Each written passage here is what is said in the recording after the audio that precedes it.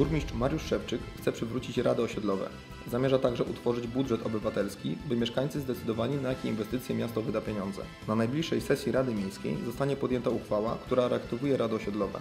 Prawdopodobnie będzie ich 10. O liczbie członków rady zadecydują mieszkańcy w konsultacjach społecznych. Są w tej chwili przygotowane projekty uchwał odnośnie powołania rad osiedlowych, czyli zmiany tam ilości, zmiany, e, mi, zmiany e, granic tych rad osiedlowych.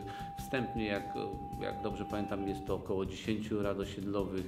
E, Chcemy, żeby, żeby te, chcemy reaktywować. Jako burmistrzowie na pewno wszystko zrobimy w tym temacie. Również jest przygotowana uchwała odnośnie konsultacji, tak żeby zaraz została w życie też wprowadzona, żeby to szybko.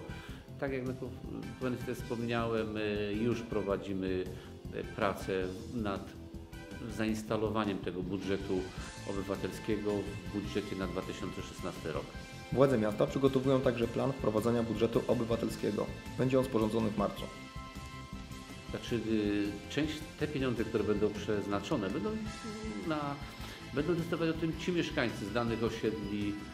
Tam będą mieli prawo wyboru, czy wolą ścieżkę rowerową, czy, czy kawałek chodnika, czy plac zabaw. To będą budżet obywatelski, jak sama nazwa obywatelski. I obywatele, czyli mieszkańcy miasta będą decydować, na co te pieniądze wydać w danej dzielnicy miasta.